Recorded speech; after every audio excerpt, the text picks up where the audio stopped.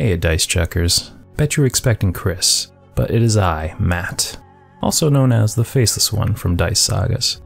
Coming to you today with some special content. This is the results of the first turn of our campaign, War of the Woods. So sit back, relax, and enjoy.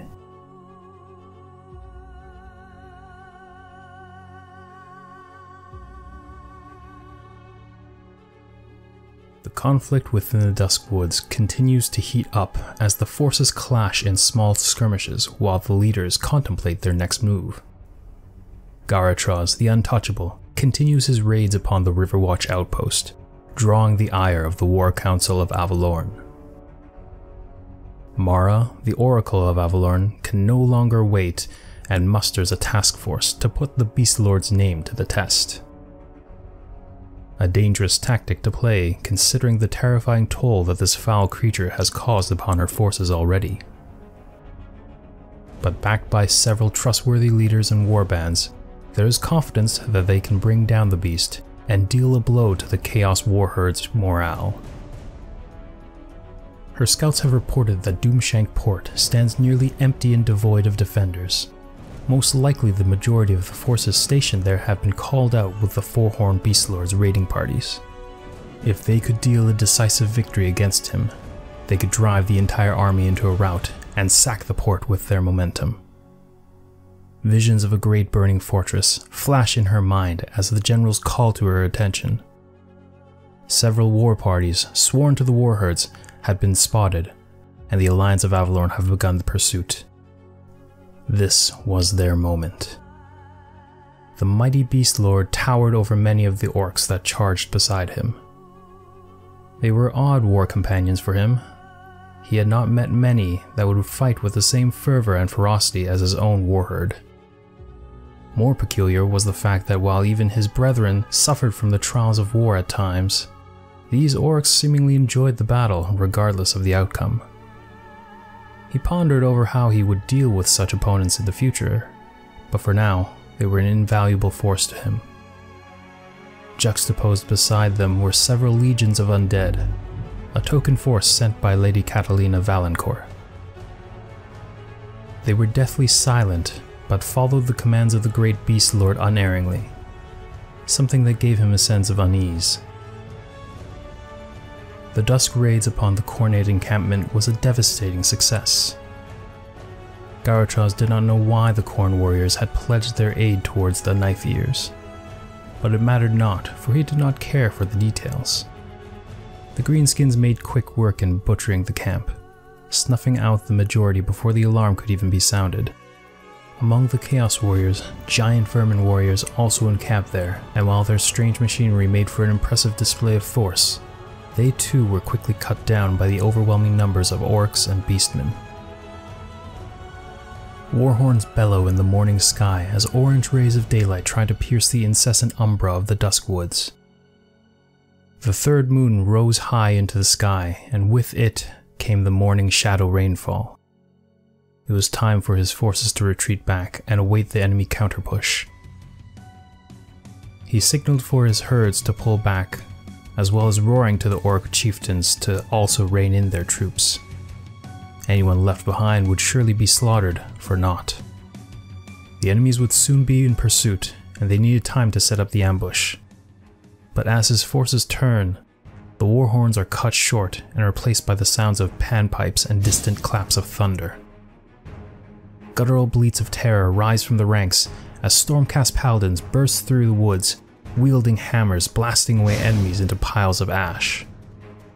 A storm of arrows rained down upon the Beast Lord's location as the Sisters of the Watch let loose their volley among the barrage of artillery ballista fire directed by Lord Ordinator Leonidas Van Cliff. Even in the gloom of the woods, one could not miss the shining shield wall of the Phoenix Guards with their glistening spears at the ready. Amongst the elves of Avalorn stood also the elves of Teir Giran, ready to lay down their lives to aid their brethren. The orcs among the warherd see this line as an open invitation, as well as a good chance for a scrap, and charge headfirst into the battle line, despite the catastrophic results. Garatraz watches as the chaos unfolds as if in an instant. he begins to back away, cutting his way through several enemy warriors when he deftly dodges away from a bolt of energy launched from above. The Oracle of Avalorn fluttered down on resplendent wings, energy crackling in her hands and fury in her bright emerald eyes. As Garatroz's forces crumble around him, he looks up towards his elf and grinds his teeth. Of all the enemies that the Beast Lord had faced in his past, for the first time, he felt unable to win this fight. Not willing to fall here and be of no use to his sister, he takes his great axe and whirls around him with all of his might, cutting down several trees with his swing and sending them collapsing around him. Mara is forced to fly further away to avoid getting crushed, and that was enough for Garatroz to make his escape.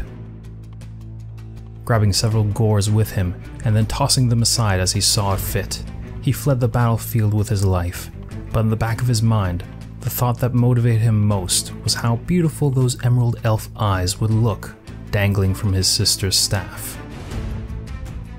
The battle raged on well into the afternoon, and by then the war herd forces had routed and scattered, leaving an open path to Doomshank Port. The Alliance took the port with ease, as there was little to no resistance left. While the port itself was likely worthless from their point of view, it did open up avenues of attack for the next part of the campaign. Mara let her companions rest for now, though, knowing that the next advance could be the death knell for the war herds or spell disaster for the Alliance.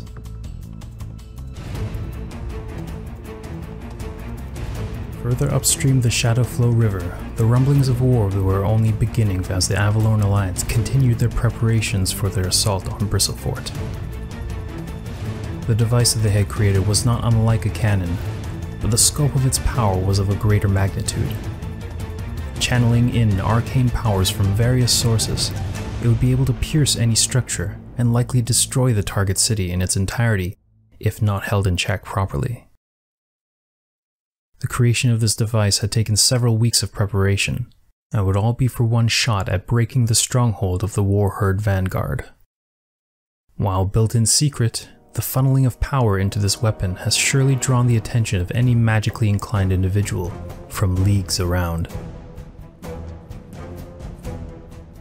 The vampire lord Conrad of House Ash drifted listlessly near the artifact. He was a keystone piece of this weapon's activation, as only he and four others had the mental fortitude to command such a magically suffused device. For lesser beings to wield it would shred their minds apart. No, it was only the steeled mind of the vampire lord that could contain the stress and destructive power. Yet, despite the catastrophic power contained within, he couldn't help but wonder about this tenuous allegiance to the elves of Avalorn. He had his own agenda and reasons for siding with them. But with such a power within his grasp, his avaricious mind entertains the thought of perhaps taking the power for his own. His thoughts are broken by the slow and lumbering march of undead.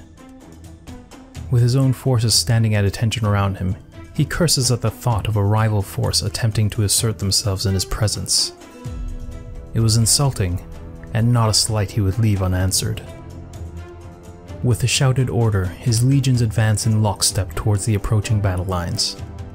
Skeletal warriors clashed soon after, and a slow war of attrition broke out as ranks of warriors fell and rose over and over. Lord Conrad thought the din of battle music to his ears, until war cries in the flanks gave him doubt. The thunderous charge of Blood Knights decimated his battle lines and trampled his followers into piles of dust. In the distance, he could see not one but two vampire lords leading the assault. Lady Katerina Valancourt, in her monstrous form, and Lady Beauvoir atop her bloody palanquin an unholy union of two powerful vampire houses. Lady Valancourt wastes no time on the chaff, brushing them aside with her horrifying body. She reaches forth and snaps the chains binding the artifact to the altar. The power channeling through it wanes quickly. With the circuit of arcane force broken, the artifact loses a large portion of its power, but still retains enough to still be a fearsome object of might. So this is what they've been planning. Amusing. she laughs as she hoists the seemingly amorphous orb in her claws. Her Blood Knights continue to crush all beneath them and lay waste to any who dare stand before them. Looking around, Lord Conrad had already fled the battle, knowing fully well that no victory could be gained from staying here. Far better to recuperate and plan the next scheme.